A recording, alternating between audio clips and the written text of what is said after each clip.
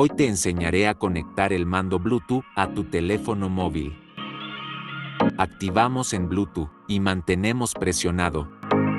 Ahora vas al mando, presionamos Home y X hasta que se prenda la luz roja, soltamos Home y mantenemos apretado X por 3 segundos más.